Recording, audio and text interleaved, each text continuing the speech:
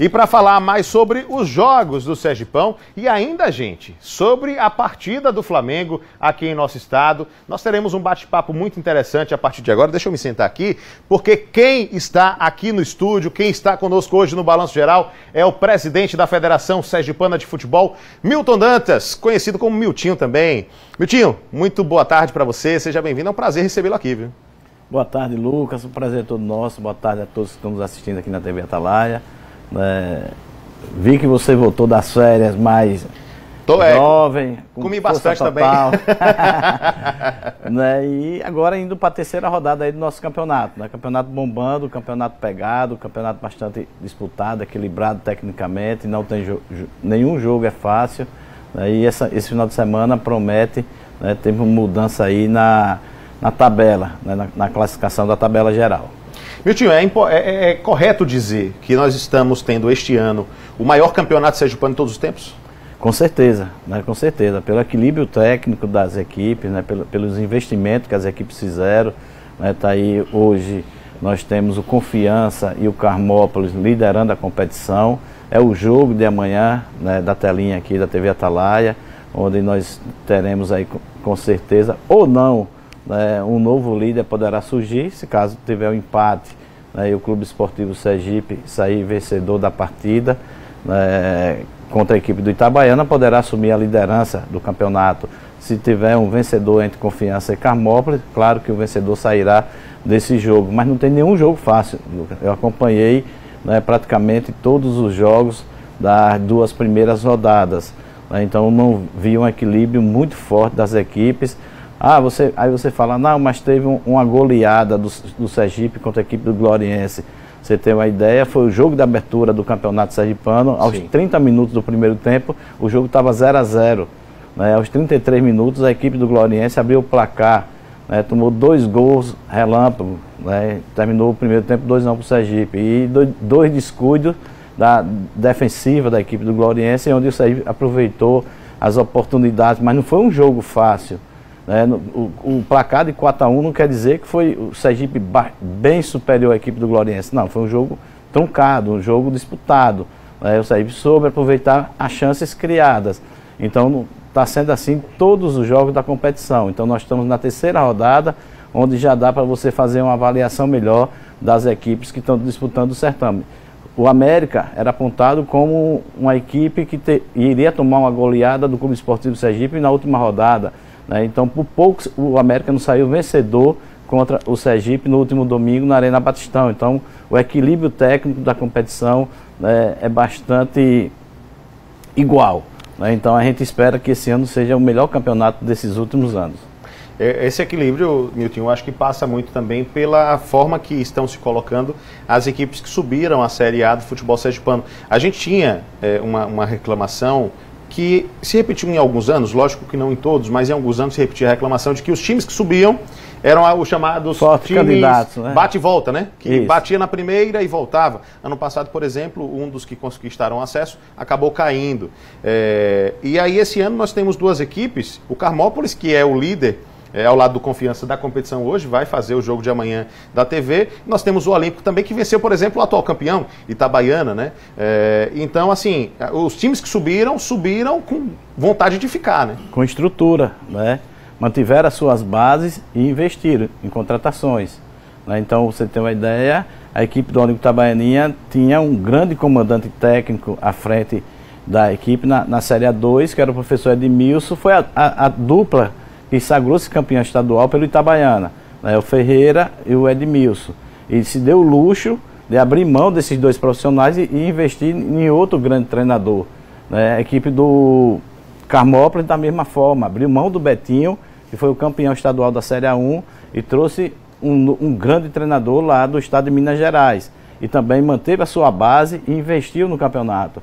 E hoje a equipe do Carmópolis lidera a competição ao lado do Confiança. Então são duas fortes equipes que vieram da Série A1 do ano passado. Então mudou um pouco essa tradição que as equipes que acendia o acesso do ano seguinte era forte candidato a rebaixamento. Então hoje você está tendo equilíbrio e essas equipes brigando pelo título. É, Milton, é importante frisar que tudo isso, né, o campeonato sergipano, né, agora falando no sentido mais amplo mesmo do campeonato, sempre com essa parceria já consolidada com a TV Atalaia, né? Amanhã nós teremos a transmissão, não vou perder a oportunidade já que você está aqui, para que a gente convide o torcedor para acompanhar não só a transmissão de amanhã, mas as transmissões que estão sendo realizadas pela TV Atalaia, né? E nós queremos parabenizar mais uma vez a TV Atalaia, na pessoa do Dr. Walter Franco, né, Cláudia, Grace, né, Augusto, toda a família aqui da TV Atalaia, pela confiança depositada no futebol sergipano, nono ano consecutivo de parceria. O futebol sergipano tem crescido muito graças a essa parceria, tem evoluído muito, você tem uma ideia. Esse ano nós estamos dando um milhão de premiação. Importante graças... que você frise isso, vamos repetir isso, Milton, para a gente frisar, para o pessoal de casa entender. A premiação esse ano é de um milhão. Um milhão para as dez equipes, inclusive as equipes que irão ser rebaixadas, né? as duas equipes rebaixadas também terão premiação. Como é que vai ser a divisão, Milton? Você, você consegue? Então nós vamos dar de 250 mil ao primeiro colocado, certo. no caso campeão, a 50 mil à última equipe. Então é uma projeção por colocação. Todo né? mundo por... vai receber uma cotinha, né? Isso, por merecimento, né? meritocracia. Então quanto melhor você fizer durante a competição a sua participação, mais você vai receber da, da participação que a federação ofertou. Né? Então nós vamos ter premiação para o melhor árbitro, para os dois melhores assistentes, nós vamos ter premiação para o artilheiro né, da competição, para o goleiro menos vazado. Então a federação procura incentivar dentro daquilo que ela conquistou com seus parceiros. Isso fruto dessa parceria com a TV Atalaia, que atraiu outros parceiros de outros segmentos. Então, tudo que a federação arrecada, ela reverte para os seus clubes. Então, a parceria com a TV Atalaia tem sido muito salutar para o crescimento e desenvolvimento do futebol saipano. A final está prevista para quando, Milton? Dia 13 de abril. 13 a grande abril, final, né? o segundo jogo da grande final, dia 13 de abril. Então nós teremos aí alguns meses de competição pela frente, né? Muito futebol garantido. Muito futebol. Teremos aí o mês de fevereiro, né, o mês de março e as duas semanas do, do mês de abril. Perfeito. Miltinho, eu sei que o futebol sergipano é o nosso principal assunto, mas está todo mundo falando sobre é, esse tema também, que é esse jogo do Flamengo, que é um jogo do Campeonato Carioca, é bom que se frise, né? É, é, há uma relação é, entre as federações, a de futebol do Rio de Janeiro e a Federação Sergipana, de, de, de coleguismo, né, de irmandade, é uma boa relação que existe, mas é um, um jogo da Federação de Futebol do Rio de Janeiro, mas que está sendo acolhido por vocês aqui em Sergipe também, né, Miltinho? Há uma confirmação desse jogo do Flamengo aqui já, né? Confirmado, né? Foi um envolvimento né, entre Federação Carioca, Federação Sergipana, né, governo do Estado de Sergipe, a pessoa do governador Fabio Tidieri, a secretária do Estado do Esporte, Mariana Dantas, né, alguns outros amigos, o presidente do Flamengo, Landim, né, todos nós sabemos que o Landim é cidadão sergipano, Sim. recebeu o título né, do então deputado estadual Fabiano Oliveira, né, a esposa do Landim é sergipana. Ele já morou aqui, né? Já morou, já trabalhou aqui, né, já residiu vários anos aqui no estado de Sergipe, na cidade de Aracaju.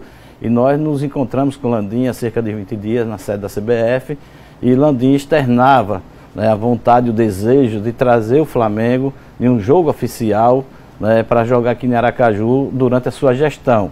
Né, Landim já está perto do, do final da sua gestão e o Flamengo ainda não tinha se apresentado, já que a última vez que o Flamengo jogou aqui em Aracaju foi em 2016. Naquele jogo vale pela Copa do Brasil contra o Confiança, no qual o Confiança saiu vencedor pelo placar de 1 a 0. E de lá para cá as coisas foram evoluindo. Né? Landim ligou para o governador Fábio Mitidieri, né? Landim ligou pra, para o presidente Rubi Lopes, ligou para outras pessoas aqui.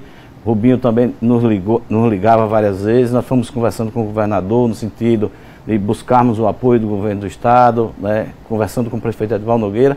E deu no que deu. Né? Confirmamos o jogo para o próximo dia 15. O jogo foi comprado por uma empresa do Rio de Janeiro.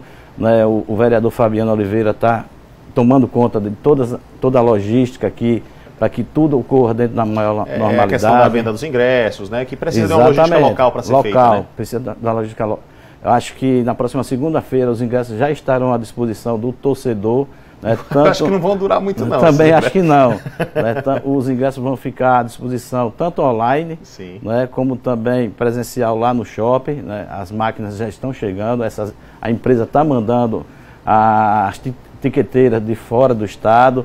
Né, então, porque foi essa empresa que comprou. Então nós vamos administrar o jogo. Então, a, o pessoal da Federação Sergipana de Futebol, juntamente com o pessoal da Federação Carioca, que está chegando cerca de 10 profissionais da Federação Carioca para administrar esse jogo no próximo dia 15, vão coordenar esse evento, um evento que nós vamos contratar cerca de 450 profissionais, então vai ser um jogo que vai mobilizar né, tanto a área turística, porque vai vir várias pessoas de, outro, de outros municípios, como também de outros estados, né, como a área também de hotelaria. Né? Então nós vamos ter uma geração de renda, de emprego, porque nós vamos contratar diretamente só para esse espetáculo quase 450, 500 pessoas para trabalhar nesse, nesse jogo. Então hoje nós firmamos essa parceria com o governo do Estado, através da Secretaria de, Estado de Esporte com Mariana Dança, já está tudo ok com o governo do Estado. O governador Fabio Tidieri interviu pessoalmente, né, porque tem um laço de amizade forte com o presidente do Flamengo, Landim, e facilitou a vinda do Flamengo para cá, que não é barato trazer um jogo desse porte. Né, o Flamengo vem completo, né, o Flamengo não vem com o time B como está jogando, como jogou no último domingo na Paraíba. E como e, joga amanhã. E como né? joga amanhã em Natal.